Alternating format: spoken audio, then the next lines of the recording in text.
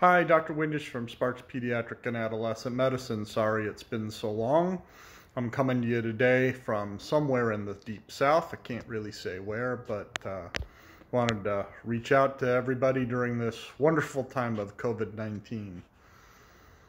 So today, I mean, we hear a ton about this. People are talking about this. This is the, the news of the day, the news of the year, the news of the century today as I was driving into work this morning, um, there was some stuff on the radio and people were asking, well, if I test negative for COVID-19, does that mean I'm in the clear? So I thought th this really merits my reaching out and explaining some stuff about viral testing. Um, because I think this is important to understand. So the current test that we're using in this country as of today, which is March 25th, 2020, is polymerase chain reaction. So we are looking for the nucleic acids that make up the genes that are in COVID-19. COVID-19 does not have DNA, it has RNA. Our cells have both RNA and DNA in it, but our genetic code is maintained within our DNA and it, it never changes. In the case of COVID-19, it doesn't actually have DNA, it only has RNA. Uh, largely that doesn't change either. Either way, PCR can amplify that. It, it then looks for specific markers to tell us you have COVID-19. So if you test negative, does that mean you're in the clear? Well, the answer that was given on the radio was rather roundabout, but let me give it to you and explain it in a way that maybe makes some sense. If you take a pregnancy test today and then have unprotected sex tomorrow, are you in the clear? The pregnancy test is sensitive to a certain degree of pregnancy, so going back a couple of weeks, it tells you that a couple of weeks ago you did not get pregnant. But if you had sex again tomorrow, and then the next day and the next day and the next day, you can take a test each day, but it only tells you where you were roughly three weeks ago, two weeks ago. In the case of the COVID test, it tells you that in your nose today there was no recoverable virus. But every time you go out in public and are exposed to someone with COVID-19, that test doesn't predict your future. If it did, we'd just test everybody once and be done with it.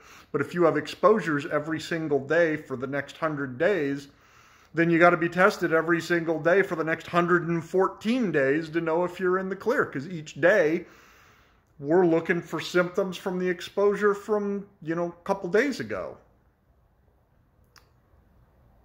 It does, however, mean that most likely at this moment, you don't have COVID-19. The test's pretty doggone sensitive. So if you're negative, you probably are negative today. But if you go to the grocery store, what's tomorrow going to bring? Mm, new, new exposures, new test. That's why we don't test people that aren't having symptoms and don't have exposures. Because if you're not having symptoms and you haven't had an exposure and you're negative, wonderful. What about tomorrow after an exposure? How many times are you going to test somebody? Especially when we only have limited tests. So that's kind of the state of that. I wanted to get that out there. Hope that clears up some stuff. Sorry, it's not actually really reassuring news. It would be nice if I could just run a test on you today and say, nope, you're good. Don't worry about it go to work, no sweat, ever, and you're free from COVID. Now, there may come a point in time where we can do antibody testing. When we can do antibody testing, if you have the antibody known as IgG or immune globulin type G, specifically against COVID-19, once we have this testing commercially available, then yes, I can tell you, at some point you had it, your immune system responded to it, you are good to go. And unless your immune system changes and you become immune suppressed, uh, you don't need to worry about it. That is not the state of the art as of March 25th, 2020.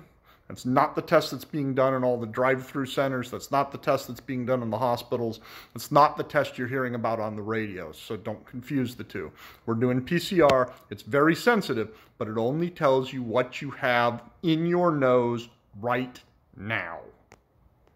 With pretty good sensitivity and specificity, but a certain amount of false positive and negatives. So hope that clears some stuff up. This is Dr. Kevin Windisch from Sparks Pediatric and Adolescent Medicine, somewhere in the deep south. Stay safe, everybody.